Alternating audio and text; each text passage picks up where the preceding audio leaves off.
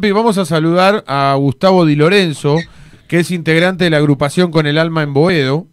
Eh, una agrupación que ha laburado mucho hace bastante tiempo y en la pandemia ha hecho un gran trabajo social y un gran trabajo eh, en pos de la vuelta a Boedo también. Eh, hemos hablado en algún momento con Gustavo y hoy postearon en, en sus redes sociales, lo vimos en Twitter, eh, su preocupación por las deudas que tiene San Lorenzo con los futbolistas en que en la mayoría de los casos ya se fueron. Eh, Gustavo, Diego Arvili y todo San Lorenzo de América te saluda. ¿Cómo te va? ¿Cómo estás? Ahora, ¿eh? No, no pasa nada. Bueno, a ver, contale un poco al hincha de San Lorenzo que está mirando y escuchando, eh, bueno, cu cuál es la preocupación de con el alma en Boedo y qué fue lo que escribieron o qué fue lo que publicaron. Mira, puntualmente la preocupación eh, es de fondo, ¿no? Es, todas las deudas, todo el desastre económico y financiero que, que, que queda en el club, eh, sin dejar de reconocer que hoy hay como un cambio eh, en el camino de cómo se de cómo manejar el club financieramente, pero también no podemos dejar de lado eh, el, desastre que, que, se hizo económicamente, tanto nosotros en el comunicado lo, lo, lo, puntualizamos paso punto por punto, pero creo que cualquiera que está en el mundo de San Lorenzo sabe lo que fueron los contratos impagables con jugadores eh, y un montón de situaciones económicas más que nos hace pensar quién se va a hacer cargo de todo este desastre que en definitiva nos queda a nosotros, al club, a los socios. Eh, o sea, la preocupación de ustedes es, es cómo está económicamente el club y cómo queda. ¿Cómo queda? Y cómo empezar a, a, a encarar eh, todos esos desastres que son desastres que en algún momento se va a tener que responder. Pero ustedes eh, como agrupación tienen diálogo con la dirigencia, con los dirigentes que están, con Arreceigor, con Lame, con Mastro Simone, con los que están? Sí, sí, incluso con muchos los respetamos, sea, como es el caso de Miguel, eh, entendemos el camino, hemos hablado con Horacio, Bien. y entendemos el camino que tomó ahora, que creo que es el camino que se tendría que haber tomado desde hace mucho tiempo. O sea que están, están entre comillas, si querés, eh, de acuerdo con esta austeridad que se está buscando hoy por hoy en San Lorenzo. Sí, totalmente de acuerdo, pero no por eso dejamos de remarcar que, que todo lo que, primero que todo, lo, todo el desastre económico que se generó nos sirva de experiencia futuro para, para entender qué club queremos nosotros. Eh, cuando digo nosotros, de la gente de San Lorenzo. Sí. Y, y, y, también para que los que fueron responsables de firmar cosas impagables, de un montón de cosas que van en perjuicio del club, eh, también salgan, den la cara y de alguna manera se hagan responsables de esto, porque eh, esto es fácil, manejar un club, prometer, no pagar, meterse en un lío cuando el que responde siempre es el club y no los que hacen ese desastre. Bueno, pero de alguna manera son los mismos. Porque con otros cargos, pero son los mismos. O sea, Horacio hoy está haciendo un laburo de austeridad, de encontrar este, un orden económico, o por lo menos es la información que uno maneja, pero es parte de la misma comisión directiva que contrató a los Romero, que trajo a Piatti y a varios más que vi que ustedes este, escribieron, Gustavo. Sí, tal cual, sin duda. Pero nosotros sabemos, y creo que cualquiera que conoce el micromundo de San Lorenzo, que esto no les quita responsabilidad, ojo. ¿no? Claro. Pero también sabemos que, que era un club que se manejaba de una manera muy personalista, donde claro. casi se manejaban como los chiches de los nenes, ¿viste? Yo quiero esto, quiero lo otro. Te vuelvo a repetir, esto no los quita ni los excusa de nada, ¿eh? porque estando adentro uno también se puede parar Exacto. y puede frenar un montón de cosas. Pero también sabemos ese manejo que también es el 80% de los votos que le dio el socio, ¿no? Claro, claro. Ese claro. cholulismo que generó eh, Tinelli cuando, cuando la gente lo apoyó de manera masiva y le dio poderes, entre comillas, que hizo que el club terminara en este desastre, pero obviamente no quita lo que vos decís, que de adentro es mucho más fácil pararse que de afuera. ¿Y ustedes, eh, como agrupación, dónde están parados hoy? ¿Afuera trabajando como venía trabajando o, o si hace falta colaborar eh, como oposición, pero desde adentro lo van a hacer, eh, Gustavo? Mira, nosotros trabajamos como hincha de San Lorenzo. O sea, desde el lugar que nosotros podamos colaborar en el club, sea de afuera, sea de adentro, lo vamos a hacer siempre. Es parte de nuestro día a día, es parte de nuestra vida, como lo debe ser de, de todos ustedes que están sentados ahí. Sí. Así que la apuesta de nosotros es un club a futuro, que sea un club inclusivo, que sea un club con, con la gente que realmente quiere bien para San Lorenzo de una vez por todas, todos juntos y todos en el mismo lugar, que es dentro del club. Pero, eh, obviamente, este es un momento de turbulencia, donde creo que de acá a futuro los que nos podamos, querramos o nos inviten a sumarnos, tiene que ser un lugar claro donde el único que, que, donde el horizonte sea San Lorenzo, o sea, mezquindades políticas, gente que busca el club para pegar un saltito, o sea, todas esas cosas no las queremos ver más. Puntualmente no las queremos ver más. Nico. Gustavo, buenas noches. Eh, recién antes de que te sumes hablábamos un poco de, de lo que es el fútbol juvenil y, de algunas agrupaciones internas que se, que se armaron de cara a, a, los juveniles. Si, si ustedes los llaman, ¿también estarían dispuestos a, sumarse? A, colaborar? Sí, sin ninguna duda. Y como primer punto lo que haríamos es tratar de explicarle a los chicos que están en inferiores un poquito lo que significa San Lorenzo y empezar a trabajar un poquito el tema de la pertenencia a los pibes del club, que creo que desde hace muchos años es nula. Hace un rato hablamos, eh, Marce, con, estamos con Marcelo Damo, compañero nuestro, pero hablamos con Fabián García, Gustavo, el que habla Gustavo Di Lorenzo, miembro de Con el Alma Buedo, y recordamos a los camboyanos. Tremendo. Este, y se nos cayó un lagrimón con Marcelo Adamo porque nos eh, sentíamos identificados con aquel equipo y también llegamos a esa conclusión, que hoy San Lorenzo hoy, en estos últimos 10 años, eh, ha perdido sentido de pertenencia. Es que los pibes llegan a primera y como llegan se quieren ir. Claro. Entonces no no no hay no no hay ese paso de cualquier chico que tiene un sentido de pertenencia por el club donde se formó, de primero querer triunfar en su club y de ahí pegar el salto. O sea, eso está vacío desde ese lugar. Claro. Y yo creo que hay que trabajarlo. Por ejemplo, Fabián García es un es un es, un, hombre del club y creo que sabe un poquito de pertenencia a lo que significa. Y sobre todas las cosas empezar a instalar a los jugadores eh, eh, que entiendan de una vez por todas. En los demás clubes no me importa, pero en San Lorenzo me parece que es preocupante que el socio y el club está por encima de todo, incluso de ellos. Claro. Hay que empezar a inculcar eso. Antonella te quiere hacer una pregunta, Gustavo. Sí. Hace casi siete años que cubro fútbol juvenil Hace casi siete años que veo que los pibes que están de cuarta o reserva tienen cinco minutos en primera división. Hace siete años que veo cómo los destratan a los pibes de primera.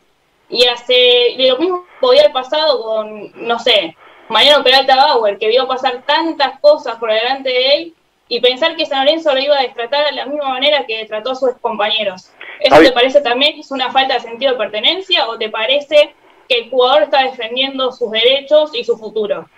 Mira, yo creo que es, una mezcla de todo. Un poquito de los chicos también es el mal manejo de, de lo que son los jugadores que se traen, lo que se paga, lo que se, lo que se va a buscar afuera y, y, no se trabaja fuerte de adentro para que, porque obvio que nosotros apostamos, y más en el fútbol de hoy, que el patrimonio del club, el futuro tanto económico, tanto en la gloria, tanto en lo que sea, son los pibes de abajo. O sea, es una suma de cosas pero lamentablemente dado eh, cómo viene San Lorenzo eh, manejándose a nivel futbolístico, eh, la verdad que es una ensalada de fruta. Los pibes que están, cuando suben juegan dos minutos y vuelven a bajar. Y en cuanto viene una escapatoria se quieren ir. Los que vienen, vienen, ninguno rinde, después se va, se le debe un montón de plata. La verdad que el fútbol está manejado horrible, horrible, y en esa suma de cosas, el único que yo te entiendo que me puntualizan los jugadores. Pero acá miremos y veamos que el único que se perjudica siempre es San Lorenzo. Claro. Ese es el problema. no, no, hay duda. Yo, yo, te marco esto porque vos hablabas de sentido de pertenencia porque se quieren ir rápido y yo te marco que muchos se quieren ir rápido por estas por el destrato. Está bien, pero es bueno, es bueno explicarle a los chicos que más allá de cualquier eh, desastre dirigencial o futbolístico de los técnicos, de donde lo queramos analizar puntualmente, sea el caso que sea, por encima de todo está la gente, por encima de todo está el club. O sea, el sentido de pertenencia del jugador lo tiene que tener con el club, con la gente y con la camiseta. Eh, después, después analizamos todo puntualmente. Y yo creo que los chicos hoy en día en San Lorenzo no la tienen. No la tienen. no la tienen porque se la muestran tampoco, ¿no? Es un error este, de la cabeza para abajo, ¿no? Y bueno, si se va a armar ahora una comisión donde se va a trabajar eso, o sea, hay que empezar... Hay una comisión armada hace rato, hace dos meses. A trabajar a los chicos desde ese lugar. Claro. Y desde el mismo lugar que se los trabaja también tratar de que sea quien sea el técnico, tenga un respeto por los pibes que vienen desde hace muchos años en el día a día del club. O sea, es una suma de cosas que hay que acomodar como para ver si eso se arregla una vez por todas. Pero a mí la falta de pertenencia a los pibes me, me preocupa. Marcelo Damo te quiere hacer una pregunta, Gustavo. ¿Cómo te va, Gustavo? Mucho gusto. Mucho gusto. Te hago una consulta, Gustavo. ¿Cómo se sale esto? Mira, ¿cómo se sale esto? Yo creo que primero si entran 10, gastando 7. Y, y después eh, esto tiene que ser como fue toda la vida la historia de San Lorenzo en los momentos críticos. tiene que haber una unión de toda la gente que quiere el bien de San Lorenzo y, y cada uno desde su lugar, mucho aportando mucho poco, tratar de empujar para el mismo lado. O sea, San Lorenzo es un gigante, lo sabemos todos. Sí. El potencial para salir de esta, salir de peores. Pero lo que a mí me preocupa es por qué siempre tenemos que caer en estas situaciones. O sea, es cíclico. Somos ¿no? cíclicos, somos como el país, lamentablemente. Es- Ah, después del 2014 todos pensamos que nos habíamos acomodado. Dijimos, bueno, de acá para adelante hay que empujar. Y la verdad que mirá cómo terminamos. En el 2021 estamos peor que en el 2000. No, lo, lo decía Antonella o Juanpi o, o, Tony Ríos un rato que lo hablábamos, que claro, eh, en el 2001, cuando explota el país, este, vivimos una situación. Te, te, después te acomodás, después te, 2010, 2011 tenés otra vez problemas, después te volvés a acomodar 2013, 2014. 2021 lo mismo, cada 10 años nos pasa lo mismo. Sí, pero eh, acá hay que dejar de jugar a las internas políticas dentro del club. Sí, sí. Hay que dejar de jugar a los personalismos dentro del club. Eso Claro. es una realidad. Acá hay que ser, acá hay que, mira, yo creo que la política, lo que sea, cada uno puede tener su, su visión de lo que sea y ir para el camino que quiera. Pero acá estamos hablando de un club de fútbol, nosotros nos acercamos por cariño, por amor, por porque tu hijo, por el barrio, por lo que sea, a identificarnos con un club. O sea, el camino es uno solo, es hacer las cosas bien y es pensar siempre a favor de San Lorenzo. O sea, cuando empiezan a jugar esa, estas disputas internas, siempre el único que sale dañado es el club. Por eso preguntábamos eso hoy, porque de esas disputas, después cuando se van, el incendio nos queda a nosotros. Claro. Y volvemos a preguntarnos lo mismo de siempre, ¿cómo salimos? Bueno, basta, basta una vez por todas. Juan Pablo Caballero te quiere hacer una pregunta. Dale. Gustavo, preguntarte dos en realidad. Eh, la primera tiene que ver con, bueno, supongo como todos, o los que quieren involucrarse en la política de San Lorenzo, saben cuál es la actualidad. La primera pregunta es, ¿qué es lo primero que, que se podría llegar a hacer en este San Lorenzo eh, con respecto a todo, ¿no? No solamente el fútbol, sino también a la cuestión económica, dirigencial, bueno, eh, la organizativa, todo lo que incluye a San Lorenzo. Eh, y, la segunda es eh, que también, más allá de que si hay 10 se gaste 7, al hincha también hay que hacerle entender muchas cosas que en los últimos años se, se ha mal acostumbrado. Por ejemplo, es, es muy difícil que se pelee un torneo, es muy difícil que se, clasifique alguna copa, como lo hizo, por ejemplo, Estudiantes en su momento cuando hizo el estadio. ¿No? Mira. ¿Se le puede decir hincha entonces esto también? Mira, ¿Tiene yo creo que son- acostumbrar a estar a mitad de tabla? Son, no, no, no, es que San no puede acostumbrarse a pelear mitad de tabla. Yo creo dos cosas que son puntuales. La primera, yo creo que en algún momento, y, y obviamente esto que no suene cursi, de una manera seria abrir el club en todas las áreas a gente que realmente tenga ganas de dejar su tiempo, su vida. Sí, pero también que esté capacitada. Porque No, eso duda, ganas, sí. pero no puede dirigir a No, no, no, eso, eso sin duda. Pero vos en 5 millones de hinchas tenés gente capacitada para cubrir todas las áreas del club. Entonces hay que tratar de buscar la manera de que una vez por todas, por llamarlo de alguna manera, todo lo bueno esté adentro. De una vez por todas y que se acabe todo, perdón la palabra, el puterío político de que yo estoy con tal y yo estoy con tal. Acá tenemos que estar todos con San Lorenzo. Y desde ese lugar empezar a empujar. Y después lo otro también es empezar a pelear en ciertos lugares. O sea, eso no puede estar cobrando lo mismo que cobra Vélez. O sea, eso tiene que empezar a En los explotar. derechos de televisación, decís. Eso como ejemplo puntual, pero eso tiene que empezar a explotar el potencial que tiene San. Lo que pasa es que para poder explo- explotar el potencial, lo primero que tenés que tener es un orden interno que te permita mostrarte de esa manera. exactamente, y, y a eso voy yo. Porque si no somos un club grande que hoy nos estamos manejando como un club de barrio. Exactamente, Lorenzo, una vez, una vez que unamos filas y que entendamos que el camino es uno, Claro. De ahí empezar a pelear, si vos tenés el potencial, pero los que manejan ese potencial no solamente no lo entienden, sino que no lo sacan para adelante y terminamos todo el barro. Hoy, hoy crees que hoy crees que este corto tiempo que tiene Reseigor haciéndose cargo de la presidencia con los dirigentes que quedaron después de las bajas que hubo, ¿crees que está intentando ir por ese camino que, con el alma en Boedo, con la agrupación que vos estás, este, eh, quiere para San Lorenzo o, hay cosas que también tiene que modificar? No, yo creo que, sí, que en, algunos aspectos sí, pero acá lo que falta, y que yo se lo, se lo pido a Horacio, se lo pido a, a quien esté, es blanquear de una vez por todas la situación total, para que todo vuelva a ser creíble. Porque si no, estamos siempre en la misma situación de ellos también estaban. Lo que pasa que está bien, pensé que me quedé con algo que te dijo Juanpi. Eh, cuando estaba Tinelli todos este, est- encandilados por las luces de, Canal 3 o de Tinelli, que, que es real, eh, porque la presencia, la personalidad de Tinelli lo genera. Eh, y a todos les gustó traer a los Romero, ¿eh? A todos les gustó que llegue Di Santo, a todos les gustó traer jugadores con nombre. Pero cuando no andan, la culpa es de Tinelli que los trajo. Ahora, que no podés traerlos, la algunos se quejan de que trajiste Ortigosa, que está gordo, que Torrico, que es viejo, o que los pibes no sirven. Entonces, ¿en qué nos vamos a poner de acuerdo? ¿Qué hacemos? ¿Traemos un equipo competitivo con eh, jugadores de renombre? ¿Apostamos a los pibes con algún par de experiencia que te lo acomoden, que es lo que está pasando ahora? Pues si no, somos la gataflora como club. Pero hoy, pero hoy en día no pasa por ser la gata flora, hoy en día pasa por entender el problema que tiene San Lorenzo. Por eso, hoy San Lorenzo está para esto, tener cuatro jugadores de, experiencia que manejen el grupo, que acomoden a los pibes y proyectar juveniles. Sí, pero eso no lo, eso no lo, no lo pensemos a largo plazo. Eso es el hoy.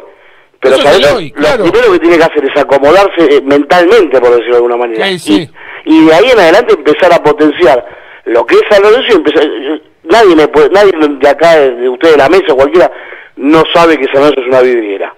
Claro, pero también, a a ver, yo lo que digo, lo decía, no sé si Juanpi, por el tema de la gente, el hincha, yo también, a ver, yo quiero que San Lorenzo salga campeón todos los años, y no puedo creer después lo que se logró en los primeros años de esta dirigencia que hoy estemos como estamos, la verdad que no puedo creerlo. Es que a todos nos pasa lo mismo, o sea, yo creo que la bronca más grande que nosotros tenemos en particular con ciertos dirigentes que han pasado en estos últimos años es no entender cómo de ese 2014, donde no era solamente la Copa Libertadores, No, 70 mil socios. eran eh, 70 mil viajar a socios, todos era, lados, era la ley eh, prácticamente a la vuelta de la esquina, un montón de cosas que hacían Campeones en todas las disciplinas, porque hoy San Lorenzo es un club social, campeón en futsal, campeón Eso en hay que reconocerlo, el Básquet, laburo en deporte federal es importante. primera, el vóley protagonista, digo, sos protagonista en todas las disciplinas, pero como el fútbol es el corazón de San Lorenzo, parece que todo lo otro no está bien. El gran problema es que el fútbol te afecta. No, igual lo otro no es que no está bien, lo otro es fantástico, porque nosotros queremos un club así, Claro. un club con mucho deporte federado, con muchos chicos haciendo deporte,